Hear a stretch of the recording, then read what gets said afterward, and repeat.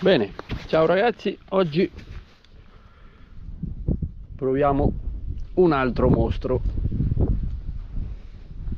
Forse anche troppo pericolosa.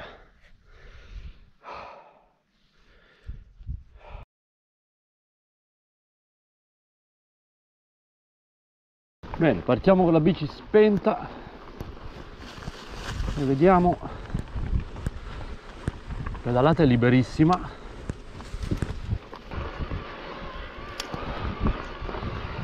A tour già ci si può rilassare. Anche le salite più toste sempre in tour veramente va dappertutto. Adesso proviamo la differenza. Tour e MTB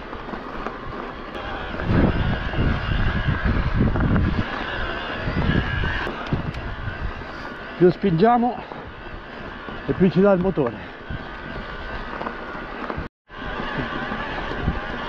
E qui ce la facciamo tutta a manetta vediamo come va.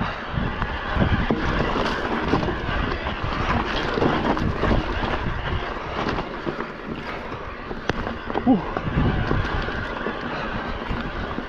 ed eccola qua. Finita la salita allora, la bici è una bomba reattivissima.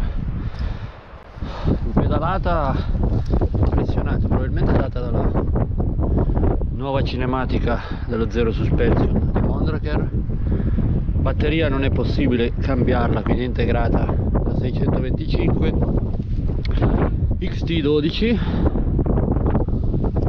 DT 1501 direi che la bici spaziale.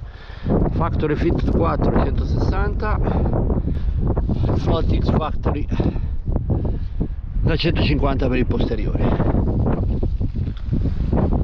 Veniva montata con gli Shimano XT quindi non un brutto freno però il cura li usiamo sempre o quasi. Adesso andiamo a provarla in discesa facciamo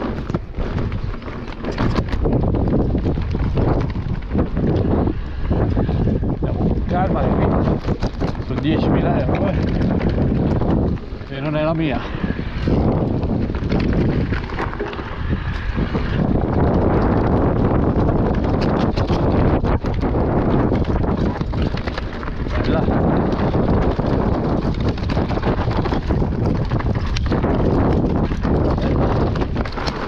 Senza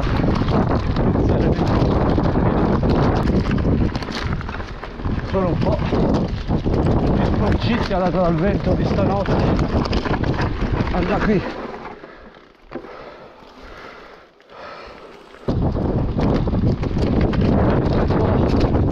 La pivot quando smette di funzionare il motore si sente che dura un pochettino.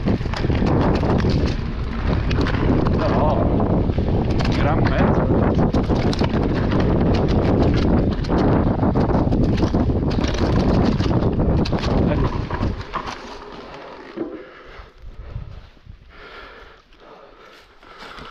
stiamo attenti.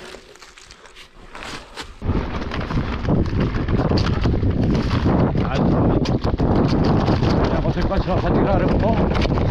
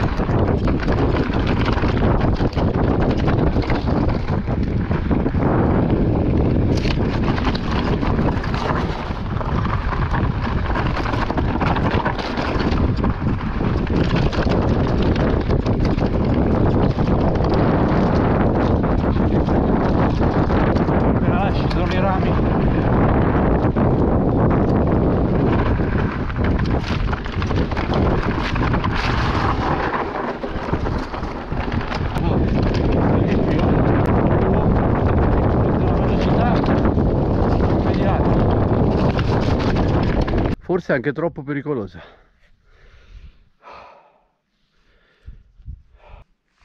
Impressionante. Ciao ragazzi. 12 febbraio 20 gradi. Straordinarie giornate. Abbiamo provato la la Mondraker RR Carbon la Crafty allora impressionante la sicurezza che dà la bicicletta. È fuori da ogni, da ogni concezione. Mai provata una bici che ti dà una sicurezza del genere. Parliamo di 150 d'escursione al posteriore che sembra che lavori come un 180 tranquillamente con un ammortizzatore che non è nemmeno un ammortizzatorone da enduro è veramente impressionante. Il nuovo carro, la nuova cinematica di Mondraker secondo me ha fatto un passo avanti gigantesco. La bici è facilissima da guidare. Il problema è che è un po' pericolosa la situazione. Perché si va forte. Oggi abbiamo provato su un percorso che era distrutto completamente dal vento quindi alberi, rami, destra sinistra, quindi non abbiamo potuto provare realmente la potenzialità della bici, probabilmente non ne sarei neanche in grado, ma mi ha stupito la familiarità che ti dà da subito e la reattività della bicicletta. Farla entrare in curva e fargli seguire la linea rimane facilissimo è un 29 quindi passa tutto, è una Mondraker quindi passa tutto, è un vero e proprio schiacciasassi. Il motore Bosch con la batteria da 625 integrata in quel modo, quindi non è possibile avere la seconda batteria di scorta.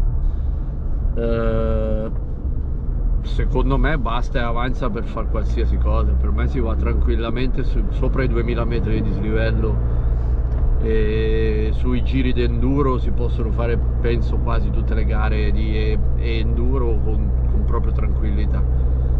È una bici puntata sul peso eh, che si sente mentre si pedala. La fanno in uh, tre versioni.